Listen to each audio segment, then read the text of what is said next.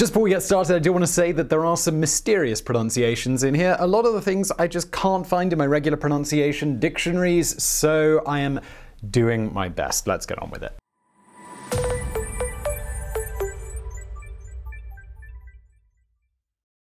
The Mediterranean is home to many mysteries and wonders. Both natural beauties and human made shipwrecks lay at the bottom of the sea, awaiting to be discovered. As the famous poem puts it, right here on the ocean floor, such wonderful things surround you. What more is you looking for under the sea?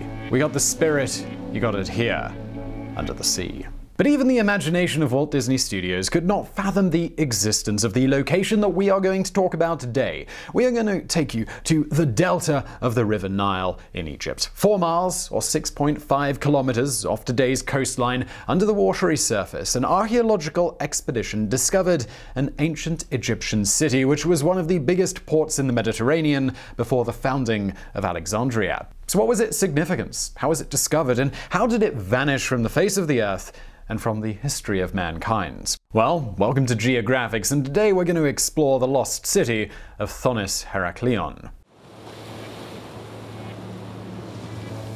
The city of Thonis, known to the Greeks as Herakleion, was founded in the 8th century BCE at the entry of the River Nile in what is today the Bay of Abu Qir. The city remained in existence for 16 centuries until the 8th century CE, but then it almost completely vanished from memory. Prior to its discovery, the name Thonis was almost unknown to the history of mankind, but the city had known glorious times in the ancient world as it was the obligatory port of entry to Egypt for all ships coming from the Hellenic world. Its importance was also religious because of the Temple of Amun. This god was the most important in the Egyptian pantheon at the time and played an important role in rites associated with dynastic continuity. And yet, Thonis was only mentioned in passing in a few ancient classic texts and rare inscriptions found on land by archaeologists. Perhaps its fame and function had been obscured by its more famous neighbor Alexandria, another port city founded in honor of Alexander the Great in 331 BCE. The Greek historian Herodotus in the 5th century BCE wrote about a great temple that was built where the mythical hero Heracles first landed in Egypt. He also reports of Helen's visit to Herakleion with her lover Paris before the Trojan War. More than four centuries later, the geographer Strabo simply noted that the city of Herakleion, with its temples, was located straight to the east of Canopus at the mouth of the Canopic branch of the river Nile. The city was also mentioned by the Greek historian Diodorus of Sicily in his great work Bibliotheca Historica between 60 BCE and 30 BCE. And then silence fell over the forgotten city. But not entirely forgotten, as scholars and archaeologists from the early 20th century continued to be fascinated by the possibility of finding it. In 1933, a promising sighting happened. An RAF pilot flying over Abukir Bay spotted what looked like ancient ruins under the water. He reported the sighting to a local prince who sent a diver to investigate. But nothing was found at that time. It would take almost 70 years and a French statistician to solve the mystery of Thonis.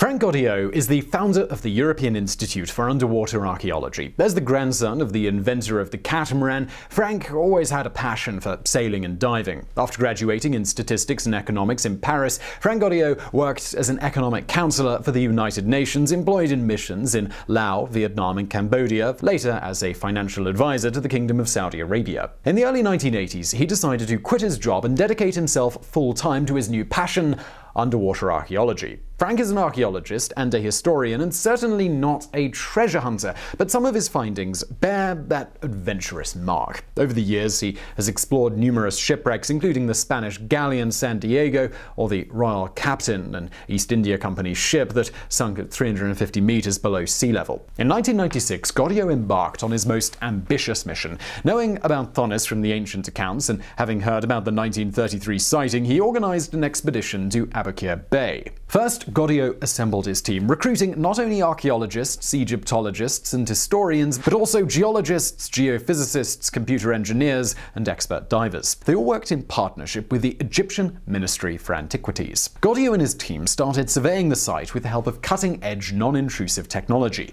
One of the pieces of kit was a specially developed nuclear magnetic resonance magnetometer, or NMR. The highly sensitive instrument was developed by the French Atomic Energy Commission, based on simultaneous proton and electron magnetic resonance, also known as the Abraham-Overhauser effect. The NMR magnetometer measures the absolute value of the Earth's magnetic field. This happens at a rate of more than 1,000 times per second with an accuracy of 1 50 millionth of the magnetic field value. And if I sounded convincing reading that, then I did a good job because I have no idea what that's talking about, and if a physicist wants to chime in in the comments, I would be most grateful. But I guess for our purposes, the important thing is to know the outcome of the NMR survey, and that's the creation of precise magnetic maps of the seabed, which can provide vital clues about the location, orientation, and size of potential buried archaeological features. If the data provided by the NMR and other instruments provided positive clues, then Goddio and his team would dive to start the actual full archaeological excavation. One day in 1999, Goddio was diving at a depth of 20 feet or 6 meters in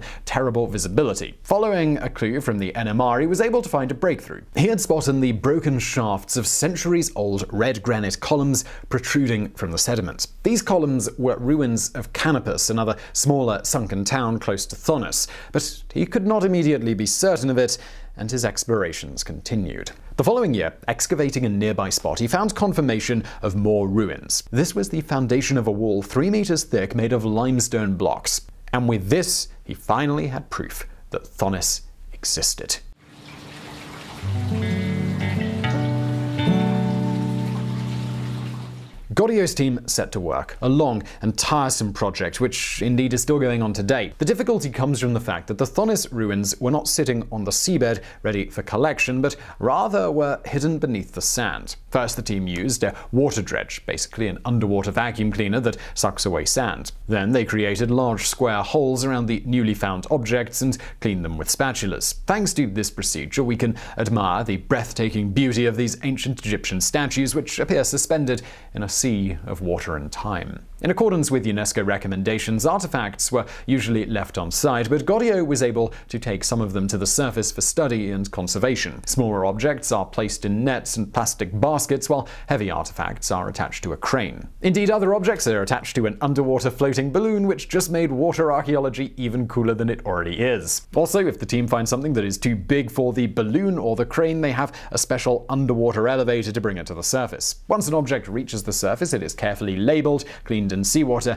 and placed in a desalination tank. The tank is filled with 50% seawater and 50% fresh water in order to avoid deterioration from violent osmosis. And if there are any chemists in the audience, feel free to explain that in the comments. Thank you very much. The process of desalination, or removing sea salts from the surface of the object, goes on for days, the point being to avoid corrosion and deterioration. The process continues by replacing excess water with resin to ensure that the volume of the material is maintained. Metal objects are subjected to an even more complex treatment, which involves bathing them in chemical or electrochemical treatments and then covering them with a protective layer. When we learned all of this, we understood one thing, and that's that if Indiana Jones could ever be bothered with actually returning something in a museum, it would probably be ruined forever unless he keeps electrochemical solutions in his fedora. Jokes aside, though, this really does go to show the meticulous scientific work involved with preserving all of those ancient artifacts that we see in our museums.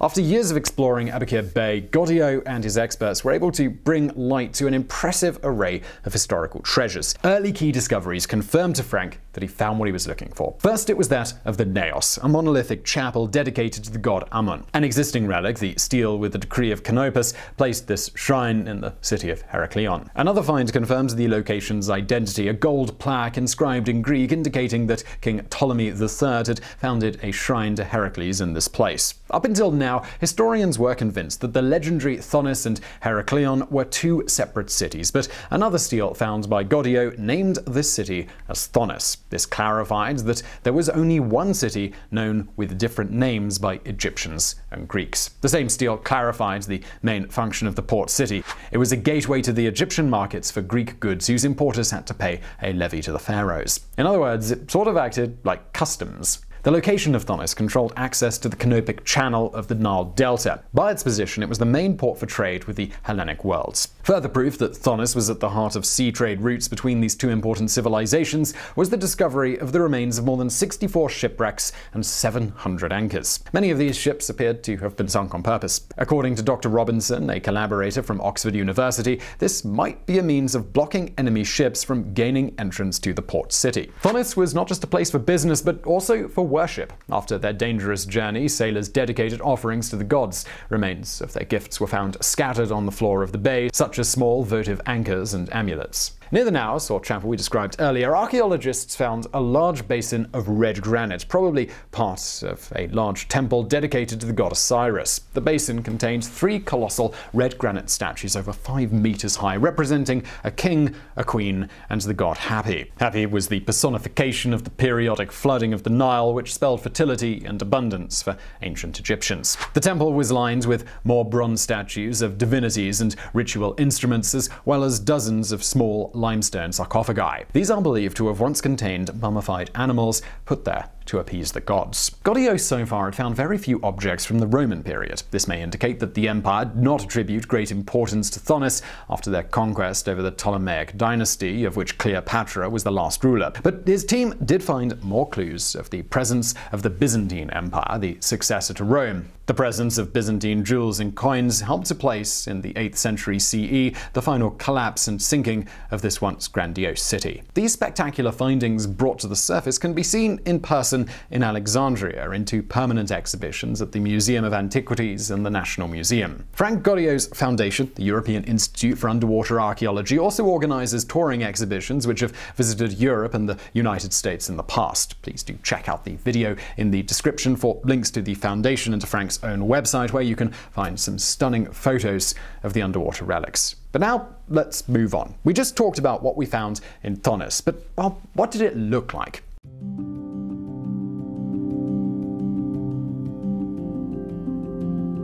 Studies on artifacts have found that Thonis was huge, hinting that there is yet more to find. To put it into context, Frank said to the Telegraph, You know Pompeii? Pompeii is a very small city. They started archaeological excavation there in the 18th century, and it is still not excavated fully. Thonis Herakleion covers an area that is three times the size of Pompeii. Having been founded before Rome and Alexandria, Thonis once held the record for being the largest port in the Mediterranean, which means that it was huge not just in size but also in importance. It was a trade route to Egypt, an economic powerhouse, a center of worship, and it also had great political significance. Every new pharaoh had to visit the Temple of Amun in Thonis in order to receive the title of their power as universal sovereign from the supreme god Amun. Amun was a solar god associated with the sun, with creation and power. Over the centuries, its worship had grown to the point of eclipsing many other deities. It is believed that Egyptian religion became a monotheistic cult of Amun in the 14th century BCE. At the time of Thonis's heyday, Amun's popularity had spread to other parts of the Mediterranean where his attributes were combined with those of existing deities. In Rome, for example, you had Jupiter Ammon, while the Hellenic world had Zeus Ammon. Even Alexander the Great, having conquered Egypt, sought legitimacy from Zeus Ammon like the pharaohs had before him. But going back to Thonis, an analysis of the coins and ceramics found underwater has led us to believe that the city was at the peak of its opulence from the 6th to the 4th century BCE. The city extended radially around the Temple of Amun, traversed by a network of canals, which must have given it the appearance of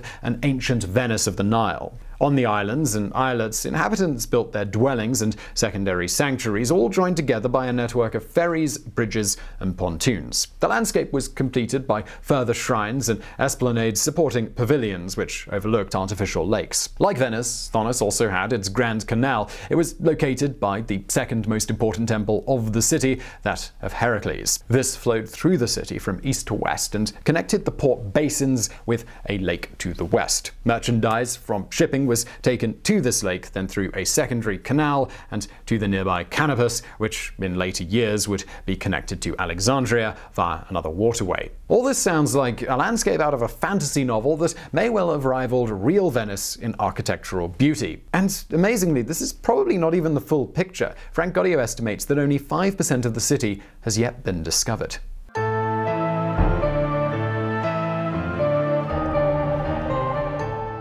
As we know by now, Thonis eventually declined in importance, and its own physical structure gradually slipped into the sea from the 3rd to the 8th century CE. This wasn't a sudden traumatic catastrophe like the events at Pompeii, rather a slow descent, which, as sad as it sounds, likely didn't cause any victims. But why and how did an entire city vanish into the sea and then just disappear from memory? Experts such as Goddio and Professor Cunliffe and Dr. Robinson at the Oxford Centre for Maritime Archaeology have formulated a bit of a theory. They think that Thonis suffered from a structural flaw which undermined its overall strength. The Egyptians had built a city upon a portion of the Nile Delta which was particularly susceptible to subsidence, a gradual collapse of the sediment under its foundations. The collapse may have been worsened by the sheer weight of the colossal structures built upon the many islands of Thonis. The area was also prone to earthquakes, which may have caused enormous tidal waves. This implies that even before its final sinking, Thonis had to wage a centuries long struggle against the elements. Eventually, rising sea levels and subsidence may have caused a final collapse in the area, causing the entire city to drop by about 12 feet under sea level. But now we move on to the question of how did it disappear from our memory. This is even more difficult to explain, and we can only really speculate here. As we know, the foundation of its rival, the great port city of Alexandria, may have contributed here. Alexandria became the main hub for maritime trade in the eastern Mediterranean, and the importance of Thonis it just waned over time. When the Romans took over, they dealt another blow to the city simply by ignoring it. As testified by the almost complete lack of Roman era findings, the empire must have favored Alexandria or other ports for their trade or naval purposes. Another contributing factor may be religious. Thonis was the main religious center dedicated to the cult of Amun and to a lesser extent to Hapi and Heracles. Romans may have diverted the attention of worshippers to other cults, and during the Christian era, the cult of Amun barely resisted until the 5th century CE before disappearing completely. All these possible theories do not imply that records of Thonis were actively removed from history. What may have happened is that historians, chroniclers, and other authors may have simply started ignoring the proud port, favoring descriptions of Alexandria and its lighthouse, one of the seven wonders of the ancient world. And the world would have continued to ignore Thonis, relegating it to a couple of passing mentions in ancient texts, if it weren't for a statistician and a magnetometer.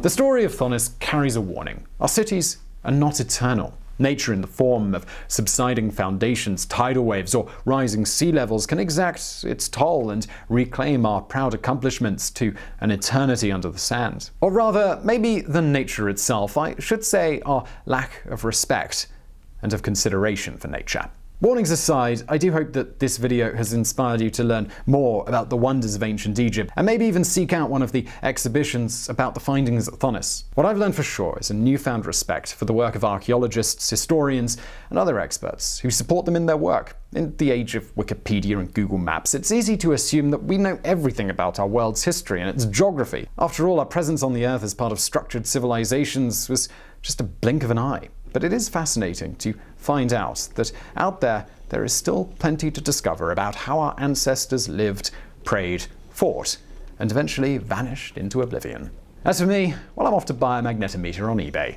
I'll see you next time.